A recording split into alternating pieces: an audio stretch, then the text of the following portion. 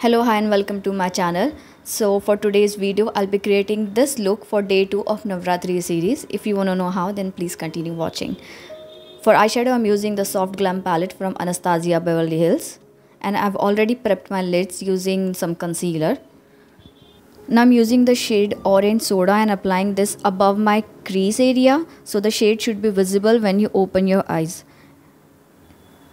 मैंने ऑलरेडी अपने लिड्स को प्राइम किया हुआ है, उस पर कंसीलर लगाया है ताकि ये आई शेडो उस पर स्टिक हो सके। और आप इसके लिए कोई भी दो शेडोज़ अपने चॉइस के सिलेक्ट कर सकते हो। But make sure you are applying this little bit high so that when you open your eyes this shadow should be visible अब मैं इसे ब्लेंड कर रही हूँ using the shade orange soda which is a lighter orange shade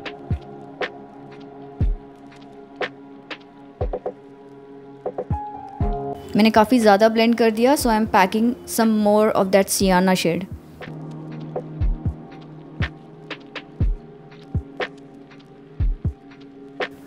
now am using this 76 number gel liner from Inglot तो मैंने क्या किया है, अपने क्रीज को एक कॉटन टिप में माइसलर वाटर रेकर कट किया है सो so दैट मुझे क्लीन कैनवस मिले इस जेल लाइनर के लिए। ना इफ़ यू वंडरिंग कि मैं एक आई शेडो बेस जैसे कि वाइट कंसीलर की जगह जेल लाइनर से अपना क्रीज क्यों कट कर रही हूँ? क्योंकि अगर मैं एक वाइट बेस यूज़ करूँ तो थोड़े टाइम बाद इट स्टार्ट टर्निंग ग्रे क्योंकि जैसे कि हमारी ब्राउन स्किन होती है तो हमारी लिड थोड़ी पिगमेंटेड होती है तो वो सम टाइम वो ग्रे होने लगता है. If the concealer is not pigmented enough तो जेल लाइनर कैसे होता है? This gel liner specially is very pigmented तो the white will stay white for a very long time but the thing is that you have to work very fast now with the help of this eyeliner brush i'm applying this gel liner very close to the crease area so that it looks very neat and clean क्योंकि आपने देखा होगा वो जो brush था पहले वो मैं ज़्यादा अपने क्रीज के नज़दीक नहीं ले जा रही थी क्योंकि आई वॉज़ अफ्रेड कि मैं उसको मेसअप कर दूँगी ना am packing this white eye shadow on that gel liner और आपको ये स्टेप थोड़ा जल्दी करना है before the gel liner sets क्योंकि अगर वंस इट्स कम्प्लीटली ड्राई तो वो वाइट आई शेडो ठीक से स्टिक नहीं होगा. So when it's still tacky आपको ये वाइट आई शेडो जल्दी से जल्दी उस पर पैक करना है. और इसके मल्टीपल लेयर्स पैक करने पड़ेंगे. आई थिंक मुझे दो से तीन बार इसको पैक करना पड़ा until it's completely white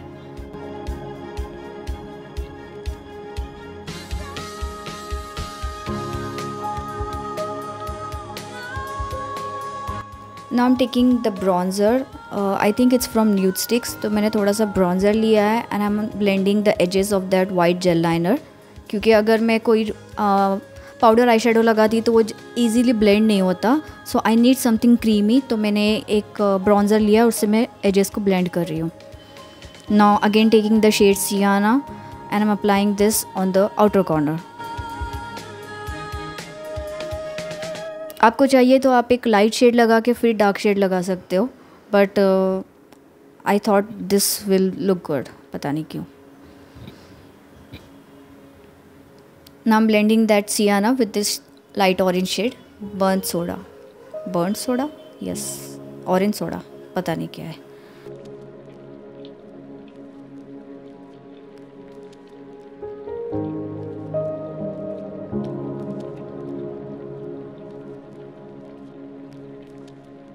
ना I am moisturising my face using this Charlotte Tilbury moisturiser so आज का जो बेस मेकअप है, वो थोड़ा लॉन्ग लास्टिक बेस मेकअप होने वाला है. And I want you to just focus on the skin prep because long lasting base तब होता है जब आपकी स्किन नाइसली एक्सफोलिएटेड होती है और हाइड्रेटेड होती है. तो मैंने ऑलरेडी एक्सफोलिएशन कर लिया है, अब मैंने उसको नाइसली मॉइस्चराइज़ किया है.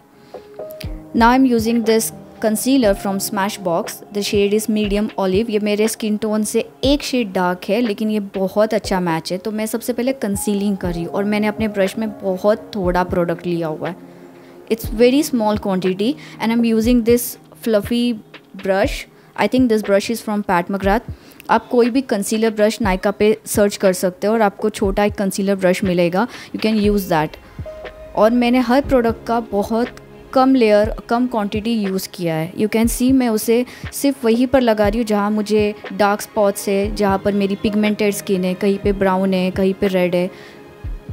The skin is not even throughout my face so I am just colour correcting ये एक कलर करेक्शन स्टेप है। मैं उसे अंडर आइज़ में लगाऊँगी, अपने फोर हेड पे, अपने चीक्स के साइड में नोज़ के साइड में और माउथ की साइड में, जहाँ पर थोड़ा पिगमेंटेशन विजिबल होता है। And as I am applying it I am blending it right away उसे लगा के अगर छोड़ दूँ तो वो वहीं पे स्टिक हो जाएगा। फिर वो प्रॉपर ब्लेंड नहीं हो पाएगा। So I am blending it right away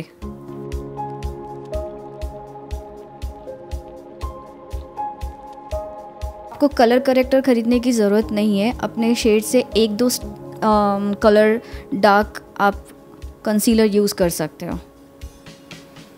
और बस थोड़ी क्वांटिटी लेनी है और इस तरीके से ब्लेंड करना है। Now am taking the lighter shade of concealer to highlight the face ये शेड है शायद light olive same Smashbox का कंसीलर है। बहुत थोड़ी क्वांटिटी ली है।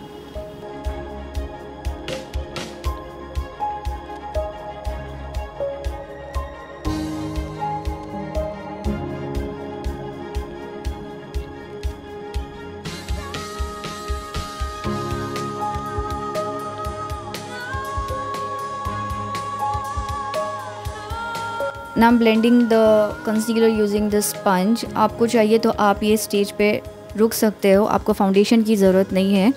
और ये कंसीलर काफ़ी लॉन्ग लास्टिंग है। तो आपको फाउंडेशन की ज़रूरत नहीं पड़ेगी। पर अगर आपको देखना है कि मैं कौन सा फाउंडेशन यूज़ करने वाली हूँ so keep watching this is the foundation I'll be using ये एस्टल ऑर्डर का फाउंडेशन है and this is the most long lasting foundation I have ever used मैंने ये फाउंडेशन ऑलमोस्ट फोर्टीन आवर्स के लिए वेयर किया था। और वो पूरा दिन हम लोग, हमारी एक्चुअली फैमिली के साथ बाहर गए थे and we were out in the sun I think हम मॉर्निंग में सेवन ओ क्लॉक को बाहर गए थे and we got back at five P M और उसके बाद मैंने जो मिरर में देखा तो मेरा मेकअप इंटैक्ट था। सो so, डिनर के लिए हम जब फिर बाहर गए I still had this foundation on मतलब मैंने इसको बिल्कुल रिमूव नहीं किया और फिर ये रात के बारह बजे तक मेरे फेस पे था। सो आई डोंट नो आप देख लेना कितने आवर्स होते हैं but morning seven to night twelve ये तब तक मेरे फेस पे था। एंड इट डिंट बज ये समर का टाइम था। मैं इतना स्वेट करती हूँ but it did not move now am using this contour from Charlotte Tilbury ये स्टेप काफ़ी ऑप्शनल है। अगर आपको क्रीम काउंटर में इंटरेस्ट होगा तो आप क्रीम काउंटर करो और else you can just completely avoid this step but I like this cream contour a lot क्योंकि इसका शेड भी बहुत अच्छा है and it just blends like dream इतना क्रीमी नहीं है as if it's a watery contour the negative point it is very expensive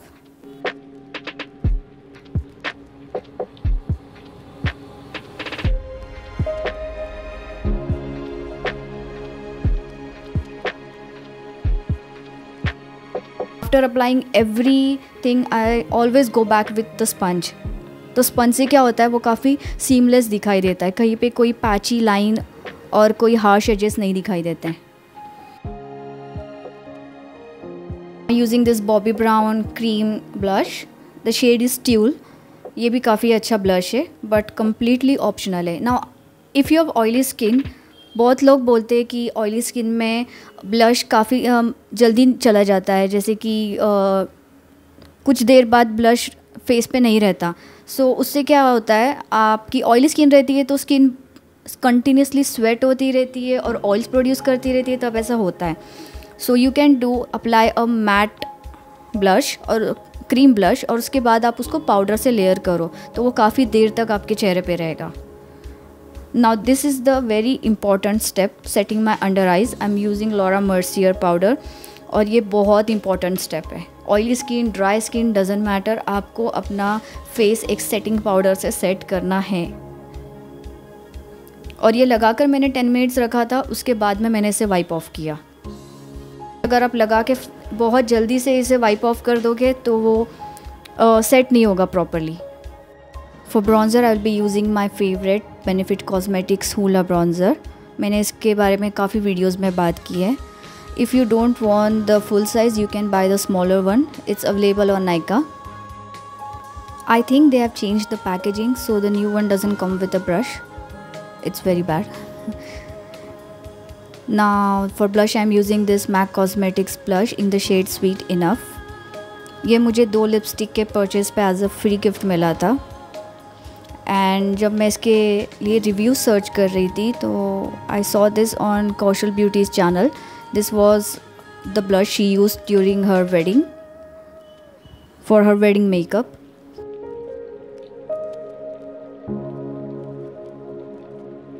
so this is the champagne pop from Becca आप पाउडर हाइलाइटर यूज़ कर सकते हो but if you have oily skin don't use any cream highlighter and highlighter is of course my favourite step I don't care कि वो जल्दी निकल जाता है फेस से या जो भी है बट मुझे हाइलाइटर लगाना बहुत अच्छा लगता है। Now you have to set this makeup with the setting spray आप कोई भी सेटिंग स्प्रे यूज़ करो, ये वाला बहुत अच्छा है but once you spray your face make sure you don't touch your face for at least ten minutes बिल्कुल भी टच मत करना स्पंज से या किसी भी चीज़ से। Now the lip liner I am using is from Huda Beauty the shade is flirt ये काफ़ी लॉन्ग लास्टिंग लिप लाइनर है।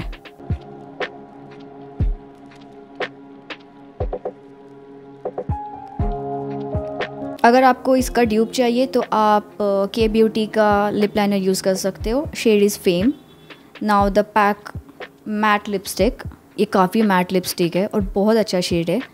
I will leave the link in the description box for all the products now as I said in my previous video कि मेरे lips बहुत dry होते हैं so I be using this lip oil from Bobbi Brown I think the shade name is force of nature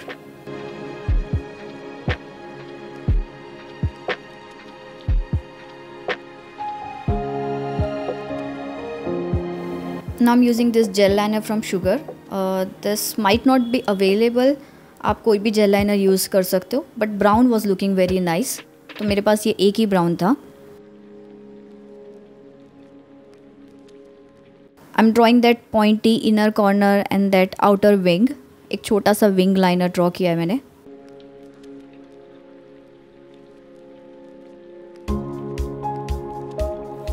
ना am using a Q tip and cleaning my lower water line क्योंकि अगर आपके lower water line पे moisture होगा तो ये liner बिल्कुल भी ठीक से स्टिक नहीं होगा।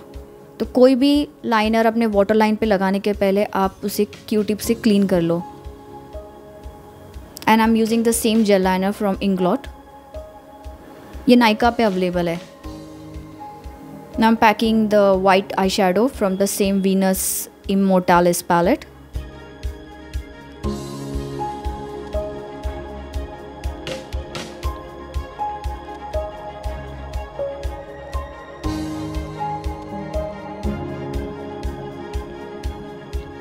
Now I'm blending the shade using the orange soda from the palette, the light orange shade.